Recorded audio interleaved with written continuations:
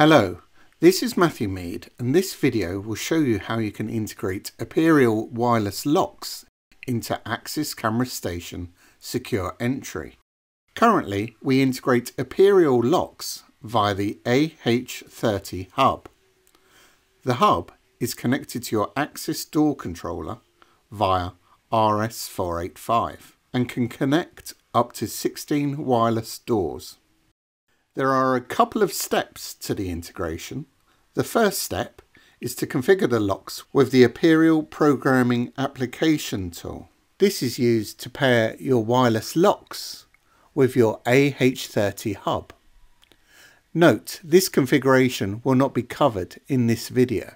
After this initial configuration, you have to configure the Axis Door Controller, which includes adding a Axis Door Controller extension license to access the wireless functionality. Note that you have to purchase this license separately.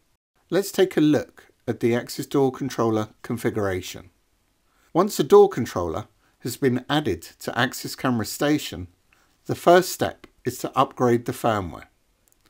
The latest firmware is required to access the latest features and you must install version 11.6.16.1 or higher.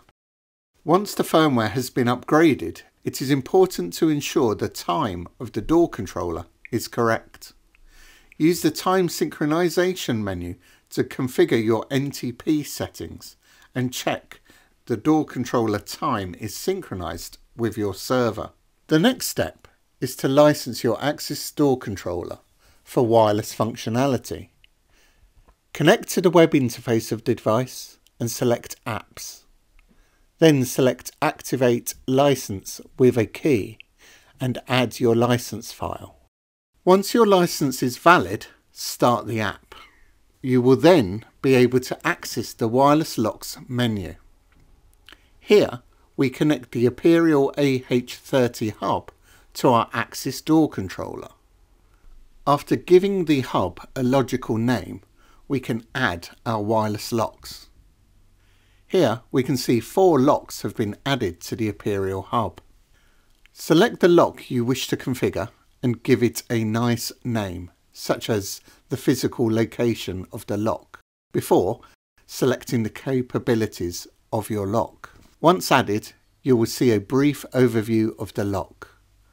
We can now configure the door within the Access Control menu.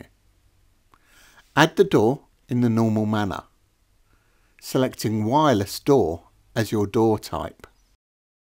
Select your wireless lock and identification profile before defining the sides of your door.